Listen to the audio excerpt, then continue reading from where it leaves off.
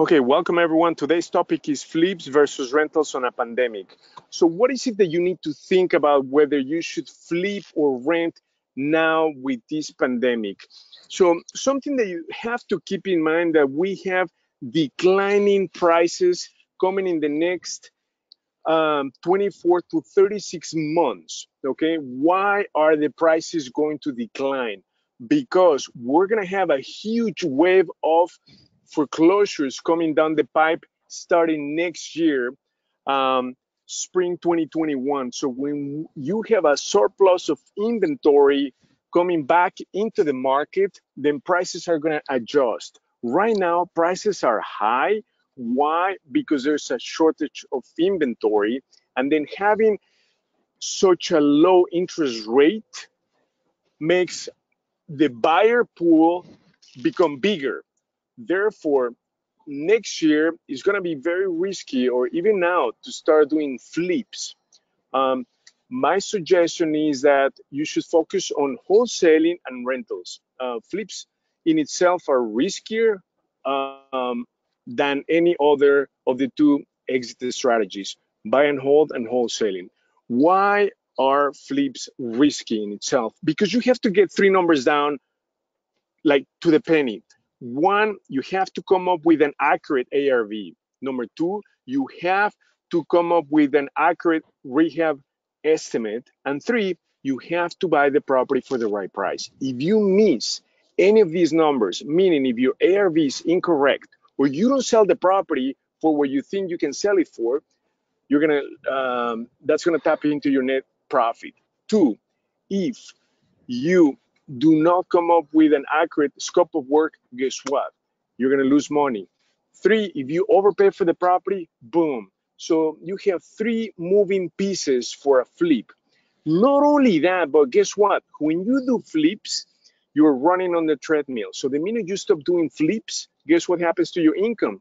Boom, it goes down to zero versus doing rentals. So when you do rentals, not only are you increasing your equity or your net worth on a daily or on a yearly basis, but you're also increasing your cash flow. Why? Because rents continue to go up on a yearly basis. Population continues to grow.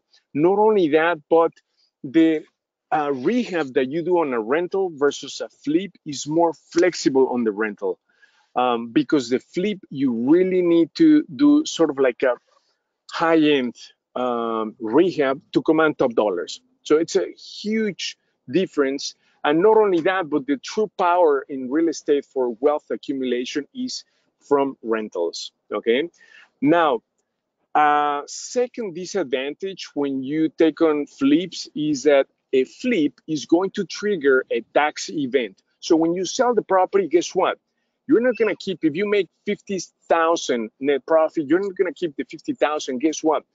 That's going to be taxable. And not only that, but that can put you into a higher tax bracket. Okay, so that's something to keep in mind versus rentals. With rentals, guess what? When you have a rental, you're going to take full advantage of tax benefits. The biggest tax benefit when owning rentals is depreciation. Okay.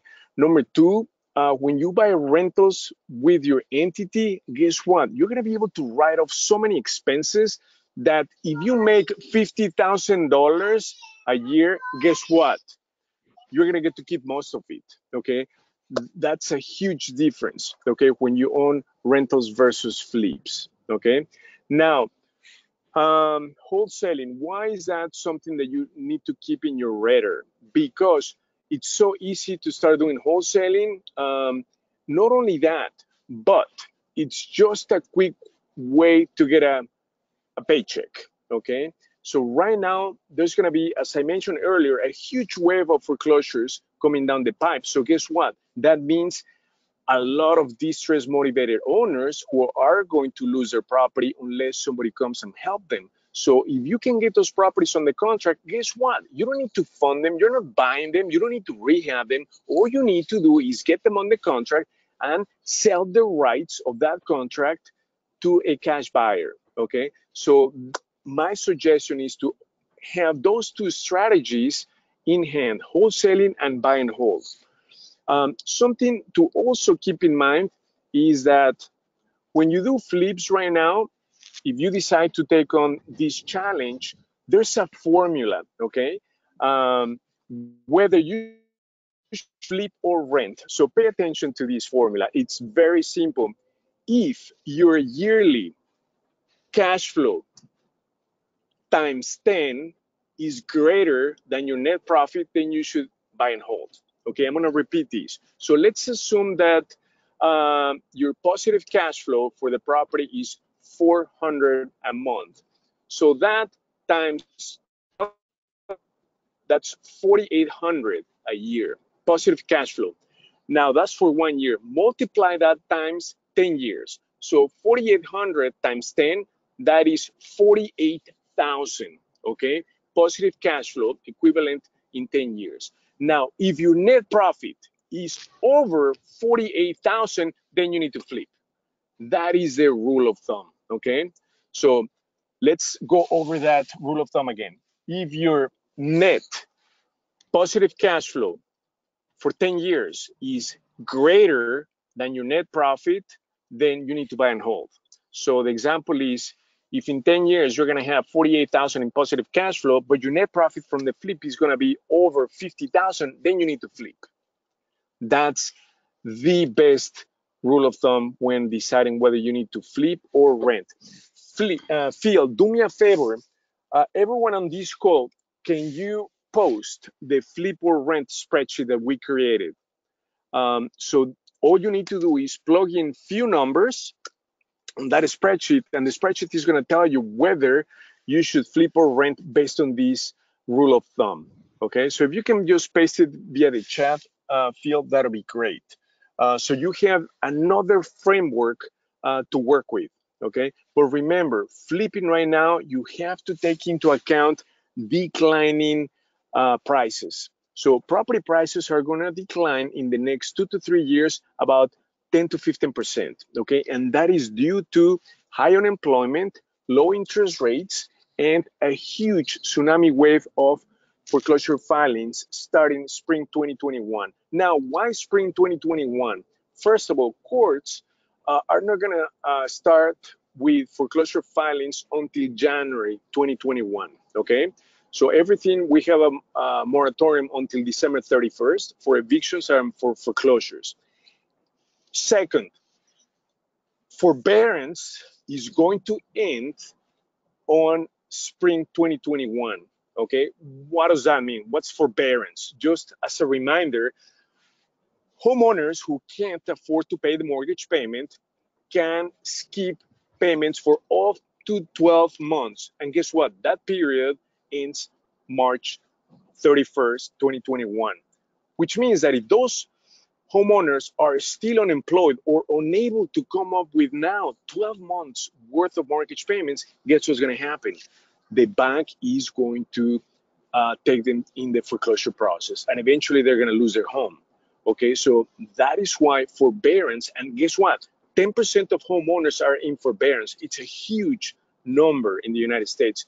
So the opportunities for you and me as investors are tremendous, huge, massive opportunities for next, starting next summer, 2021 through 2025. Okay, so what is it that you need to do today to be ready for this huge opportunity? You need to do two things. You need to stash cash, meaning you need to have liquidity, number one, and most important. Number two, you need to become familiar and become the best at the strategy that you pick, whether you're going to do flips, buy and holds, or wholesaling. Stick to one or two strategies and become the best at finding great deals. Okay. Listen to what I just said. Become the best at finding great deals. So, regardless of your strategy, whether you do buy and hold, fix and flip, or wholesale, if you're able to identify and get a property that is a home run deal on the contract, guess what? That's when you're going to start making money. Not when you rehab the property, not when you rent the property, not when you flip the property. You start making money the minute you get a great deal on the contract. Um, so let me give you an example. We uh, got a property on the contract in Ukrainian Village last uh, last year for about 110,000. We turn around and we put it on the MLS for about 200,000. We got full asking price offers. So we made, you know, after all holding expenses, carrying costs, we made about 60,000. Uh, but that's because we got a great deal on the contract. And that doesn't come easy and it's not easy to find them, but that is why you join our webinars because we want to make sure that you become the best at identifying great deals. So how do you identify great deals? You need to, uh, number one, pay attention to the neighborhood. The neighborhood, the area needs to support your exit strategy. So if you're thinking um, about flipping or buy and hold, that neighborhood needs to support that strategy. So in Chicago Deal Vault, we can help you if you do not understand or do not know what areas support what exit strategies, please let us know. We'll send you the summary, okay, for the neighborhoods and what areas and what strategies they support. Number two, you need to have, when getting the property and the contract, you need to know two things. Uh, ARV, it's number one, and number two, how much you should pay for the property. And obviously, number three, it cannot be a gut rehab. Okay, if it's a gut rehab, then um, your numbers are going to drastically change. So when you know the ARV, the after repair value, how much you can sell the property for after you you done the rehab, that's step number one. Okay. Number two, you need to have at least a hundred thousand dollar spread, regardless of your exit strategy. So what does that mean? You find the property, let's say in uh, Naperville, okay, for it's a condo or a townhouse, and the ARV is 250,000, okay? That means that you need to get that property in the contract for no more than 150,000. So you need a $100,000 spread. That spread, along with a light to medium rehab, is going to guarantee a home run deal. So I'm going to repeat the formula for finding home run deals. Location, location, location. Okay, you need to focus on areas that support flips and uh, buy and holds. There are some areas that don't support neither one of them. Okay, let me give an example. For instance, depressed neighborhoods such as Riverdale. You cannot flip a property in less than seven months there. You cannot get a collectible tenant in less than three to four months. Okay, so those distressed neighborhoods you cannot get into because you're going to struggle trying to do any of the exit strategies. So look for neighborhoods that ideally support both flips and, and buy and holds. Step number one. So step number two, once you believe you have a great deal, find out what the ARV is, okay? And we can help you with that. Um, so if the ARV comes to, let's say, 200,000, 250,000, just subtract 100,000, and that's how much you need to get it on the contract for, with the assumption that the rehab is light to medium. So what does that mean? Rehab should not be more than $40,000. That makes a rehab light to medium, okay? That's just the rule of thumb. So the question is, how do I come up with uh, the dollar amount for a rehab on a property? Very simple. What we're gonna give you is we're gonna give you a, a chart, a Phil, um, please uh, make this available uh, for people who send you an email today of the chart uh, from the previous webinar on how they can come up with an accurate uh, rehab estimate. But let me tell you the rule of thumb. If the we categorize the rehab into three stages or three types. Number one, it's light, meaning you're gonna need to do carpet and paint. Okay, that's the minimum you're gonna need to do. So if the property is under 2,000 square feet, then the rehab is gonna be no more than 15,000. That's simple. If the rehab requires obviously paint and carpet or flooring, and on top of that, you need to update the bathrooms and the kitchen, that's a medium rehab. And guess what? If the square footage is less than 2,000 square feet, then your rehab amount is going to be between 35 to 40,000. That's it. If you need to redo systems like HVAC, electric, plumbing, uh, roof, windows, that's a gut rehab. Okay, that's going to be way over the 40,000. uh, and then the numbers are not going to work. Okay, so you should focus on properties that require very, very little rehab because we are in the business of investing. We are not in the business of construction or rehabbing. That's not where the money is. In fact, if you take on big projects, that's where you can lose a lot of money. Okay, so as a rule of thumb, please focus on light to medium rehabs uh, and then use the formula that I gave you to find great deals. So again, I'm going to repeat that. You need to focus on properties that are ideally in B neighborhoods, uh, A minus neighborhoods. Okay, right now the C and D, meaning the challenging and more distressed neighborhoods, guess what? They were affected the most by the pandemic uh, because those people lost their jobs. So there are blue collar employers, I mean employees. That's where you're going to struggle the most. C and D neighborhoods. So please focus on B minus, B plus, A minus neighborhoods uh, because that's where your flips and buy and holds are going to be most successful. You're going to minimize your risk and maximize your profits. Okay, super important. And then second of all is the rule of thumb that I gave you of the 100 thousand dollar spread for the flip or for the rental. Super important with the rehab being less than uh, 40,000. Okay, so now just to quickly summarize what you need to do now, what you need to focus on due to the pandemic.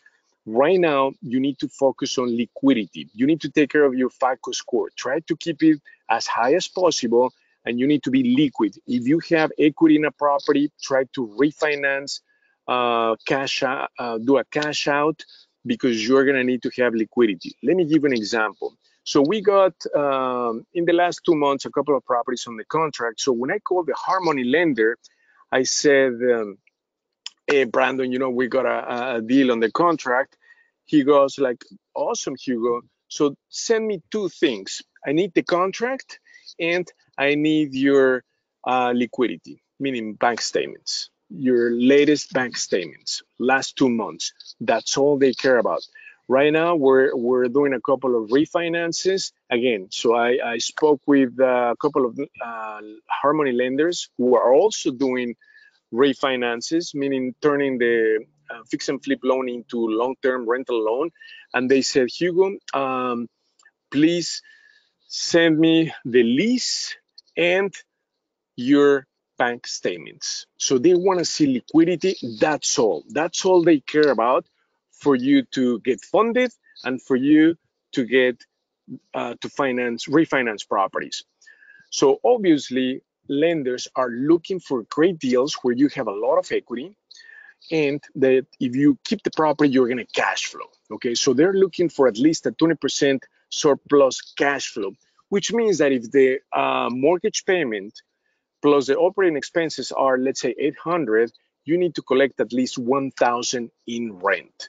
So you need to cash flow 20%. That's what they're looking for. Okay. Uh, so when you buy a great deal with at least 100,000 uh, spread, you're going to meet the lending criteria with hard money lenders, private money lenders.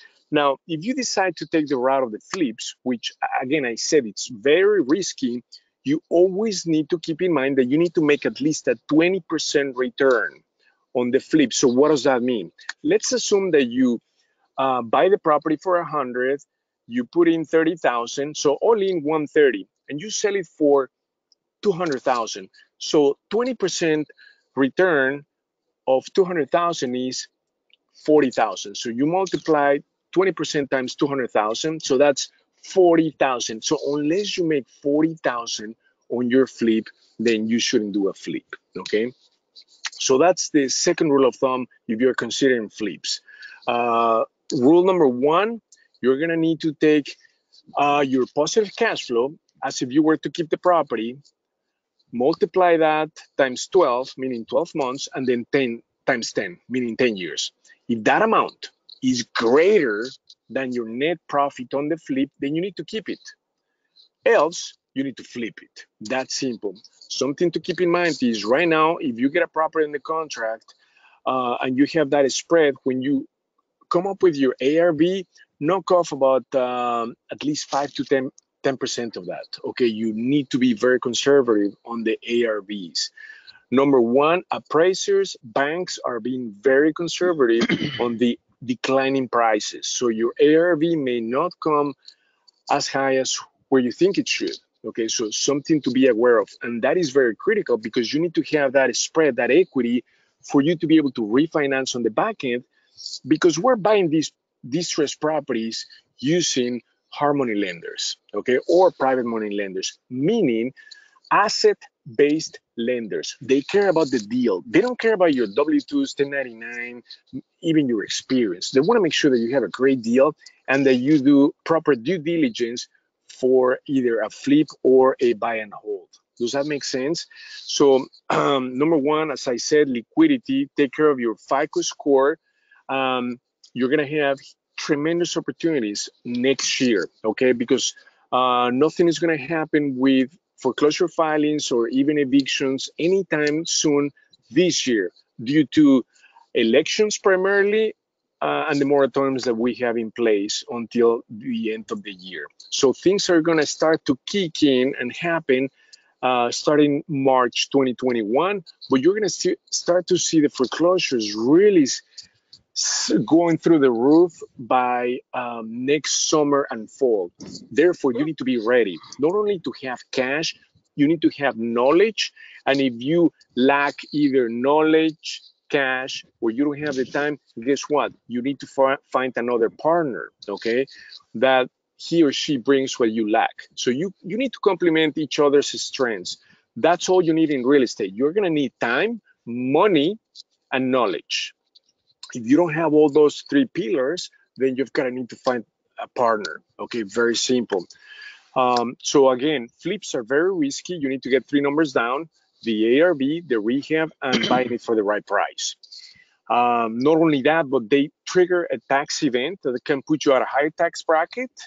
Uh, the government or IRS is going to tap into your net profit. That's the sad story of the flips not only that, you're not building wealth. You're just getting a big paycheck. Okay, so you need to constantly run on the treadmill for you to make a living. That's not financial freedom. When you own rentals, you can be out of commission, you could be on vacation, you could do nothing and still get passive income through rentals because the tenants are going to be paying for your mortgages, your operating expenses, and on top of that, they're going to put money in your pocket. That's true financial freedom. Okay, other people running on your treadmills. Okay, so at this point, you will leverage from other people's time and other people's money. Super important to focus on rentals and wholesaling.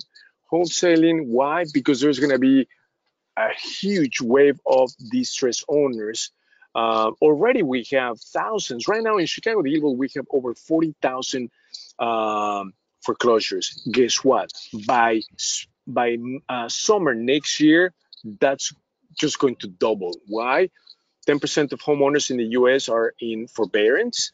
And right now, there's a backlog in foreclosure filings. Already, people in financial distress. Plus, with over 20% unemployment rate, that's just, do, do, you know what that means? I mean, high unemployment, forbearance, it's, um, it's just a formula for a huge opportunity for you and I.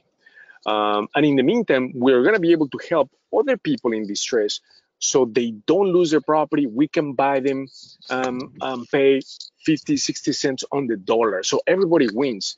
The bank doesn't foreclose on them they get to uh, walk away with uh, some sort of like a moving package 10 15 20000 and we end up with an awesome home run deal paying 50 60 cents on the dollar super important friends um, but again i want to stress the importance of uh, buy and hold because you do not trigger a tax event when you buy properties not only that you take advantage of the biggest tax benefit which is depreciation so if you get to make fifty thousand dollars a year with rentals, you're gonna get to keep most of it.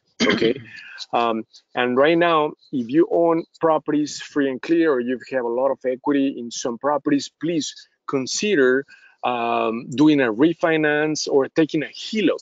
home equity line of credit. Why? Because you need to have liquidity, you need to have cash, and guess what?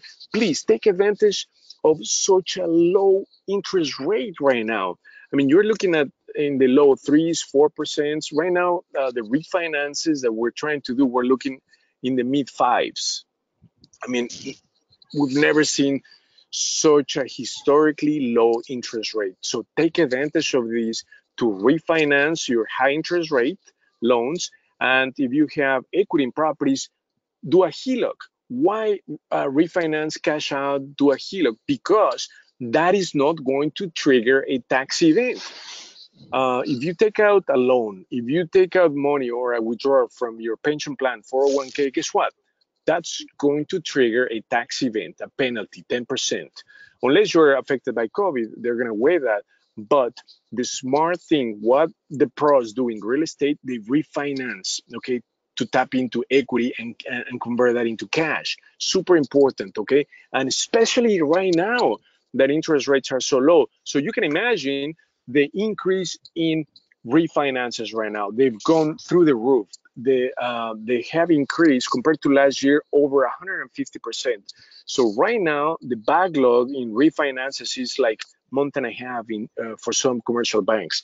Month and a half. If you submit everything to underwriting, you might need to wait uh, six to eight weeks before uh, underwriting takes a look at your application. It is it is in such a high demand, but it's what makes sense right now for you to have liquidity. Um, so again, Phil, please make that spreadsheet available to every single one on the line, um, whether they should flip or buy and hold, because all you need to do is plug in a few numbers like ARV, rehab, and your um, monthly income from the rental, and then it's going to do the whole analysis for you. The cash flow is going to tell you whether you should buy it and, um, or flip. But remember, keep in mind declining prices for next year. 5 to 10%. Be very conservative on your ARVs.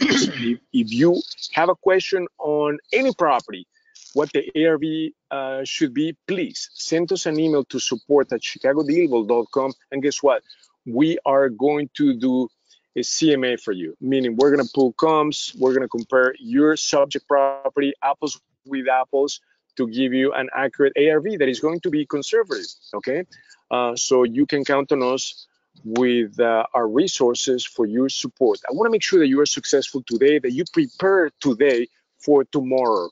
In fact, let me tell you, this week, um, I met with um, the owners of ILFLS, uh, Bard and Peter. They are the number one buyer at judicial auctions. Okay, um, so we are strategizing right now. What is it that we're gonna do today to make you more successful um, early next year? Okay, super important to right now take a step back and do um, two things try to get a partner that complements your strengths. And uh, number two, take care of your credit and have liquidity. Right now is the time to save, stash cash because you've got to be ready to pull the trigger. And that's what the lenders are going to be looking for. They're going to be looking for those reserves down payment, you're going to be looking at 15% down payment on the property. Okay, but guess what? If it's a great deal, and even if you don't have the money, but you got it on the contract, there are going to be plenty of people with cash who would like to partner up with you, or you can just wholesale the deal. So remember, you're going to be making money in real estate when you get a great deal on the contract, not when you rehab it, not when you rent it. No, you get you you make money when you get a great deal on the contract because you're gonna either be able to keep it for yourself, do a flip or a rental, or wholesale it. Um, are there any questions on the line? Phil, thank you for showing that spreadsheet. Are there mm-hmm. any questions? I've given you a lot of information, but I just want to, um, you know, summarize it, keep it simple uh, so that you are prepared, that you understand what you need to do, when you need to do it. Um, and then Phil, do me a favor, um, please give everyone who does not have access to Chicago DealVault for free for the next 30 days.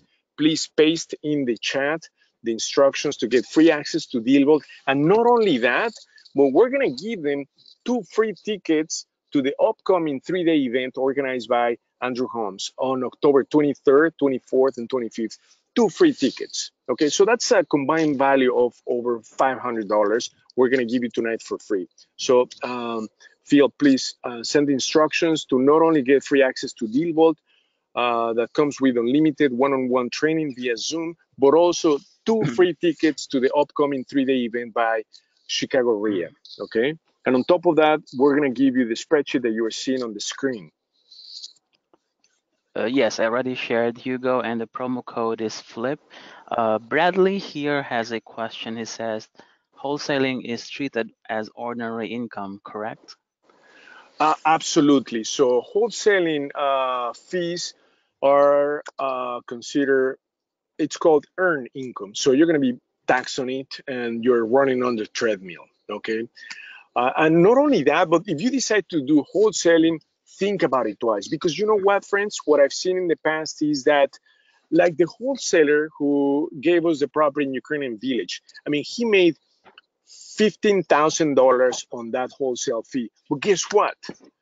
If he had found a partner, he could have made two, three, four times that amount. Okay. So if you have a great deal, don't give away the golden goose. Keep it.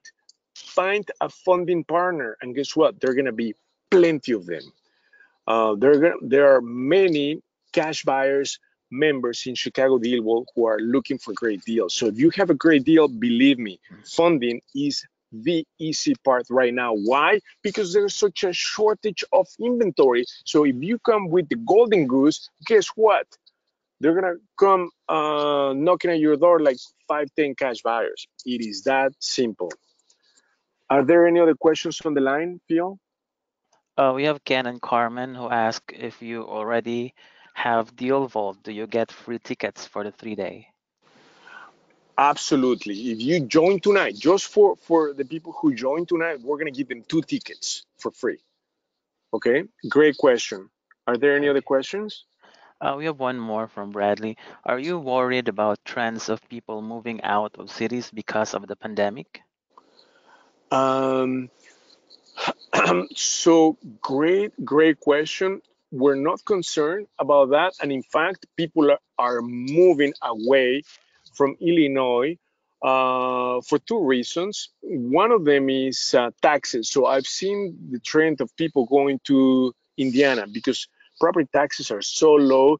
Um, there are so many benefits in other states, like even Florida. One of uh, like uh, Russell Walker, I spoke with him this week, and he's one of uh, the top wholesalers also in Illinois. He's moving to Florida as well uh, better opportunities, uh, no state tax. So, but we're not concerned about that. Why? Because guess what? Still, there's such a great population in uh, Illinois, especially in the Chicagoland area, that there are tons of people and very, very few uh, properties available for rent and for sale.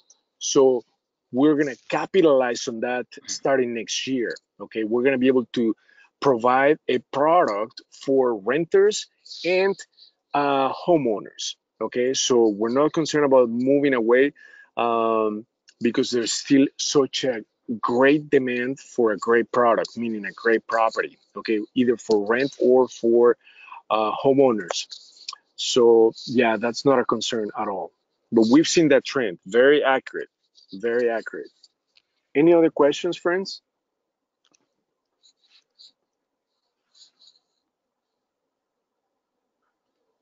Okay, uh, we have one more from Ken and Karen, Carmen.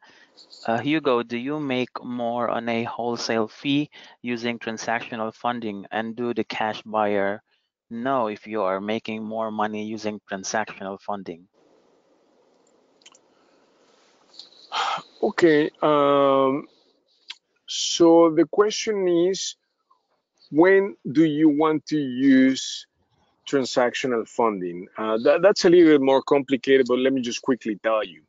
Uh, when you wholesale a deal, the concept of wholesaling means that you get property in the contract and you're selling the rights of that contract to a cash buyer or investor. Okay, you're not actually buying the property, but um, you can, if you're going to be making more than 10,000 on the wholesale fee, guess what? Since you need to disclose that amount, uh, or meaning your fee to the buyer and to the seller, guess what? They may get upset if you're making more than 10,000. So you may need to do a double close. And to do a double close, you have two options. Either you use the funding from your end buyer or you can use transactional funding. Uh, the cost of transactional funding is about 1.75 or up to 2% of the uh, loan amount. What it means is that you're buying the property temporarily for um, back to back because you are doing two closings back to back. So you you're just borrowing money for just a couple of hours. You're gonna pay for it, um, but there's a better way to avoid that two percent. Instead of using transactional funding, you can use the end buyer's cash to pay for the property. So you do not need to use transactional funding uh, when doing a double closing. You're going to be saving uh, thousands. Okay, so we can give you the details if you're interested in doing like double closing. If you have a property you want to wholesale, you're going to be making more than ten thousand. Please do not do an assignment because the property can fall through the cracks. You need to do a double close, and you don't need to use transactional funding. We can use the end buyer's funding to do the double close. Super important. Doing a double close keeps your fee, your wholesale or finder's fee, um, hidden from both the seller and your end buyer? Great question.